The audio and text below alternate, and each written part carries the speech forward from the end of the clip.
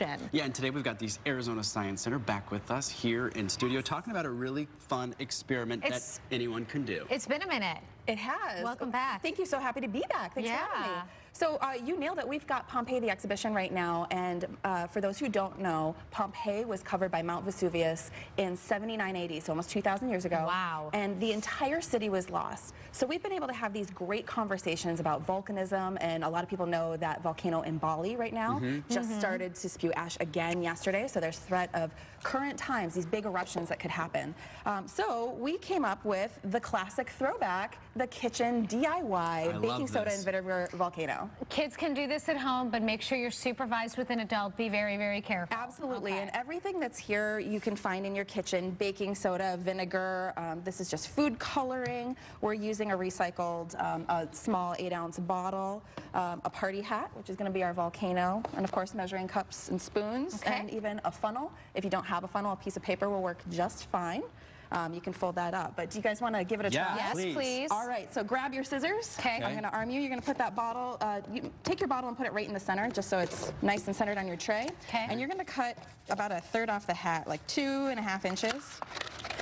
They're cut so that top pretty, right too, off. the colors. And it's so easy. That gives you your volcano shape. And you're going to put it right over top Oh, of your I need to bottle. You might need a a little little, little, little lower.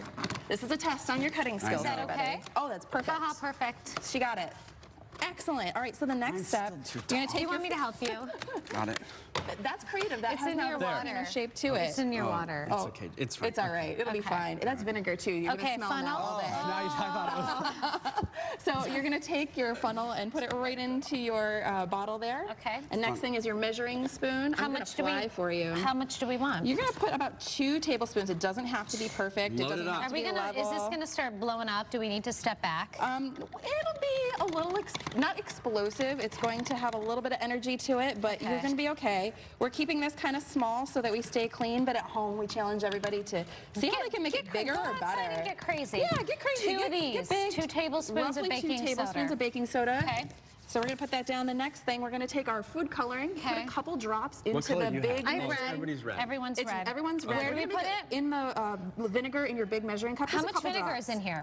Right now there's a half a cup because we're getting crazy. A quarter cup would Did work. you see tie dye? Oh, you got real red on there, Sorry. so lots of dark lava for you. Yeah. Okay. Excellent. All right, so then the next thing we're gonna do, Okay. we're gonna take our big measuring cup and you're gonna dump all of it. Oh, you can take your funnel right out because otherwise it takes too long. And we're gonna dump it all in there at once. Here we go. Three, two, one, go. I don't want to get dirty. Ah! Whoa! Oh, you guys were calm. There you go. Dump it, dump it, dump it, dump it, dump it. Oh my gosh. There you go.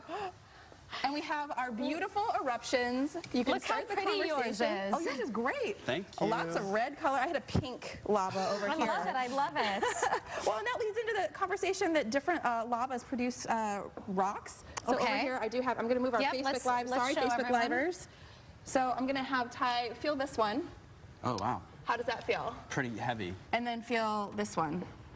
Oh, look at that. So these are both igneous rocks formed from lava. This one is a basalt with Wow. um, olivine in it, and this is a pumice. So there's a lot of air in this one that makes it really light, and this one, even for its size, is pretty heavy. So That's incredible. uh, this is how we can take the kitchen science experiment and start a whole other conversation with eruption. Very is neat. interesting. How long is the exhibit up for? Until May 28th, so we've got some time, but it's definitely getting busy, and tickets are selling. So we encourage everybody to check it out. How do they get tickets? azscience.org. All right, thank you. We'll be right back. Isn't that neat? Oh. Yeah.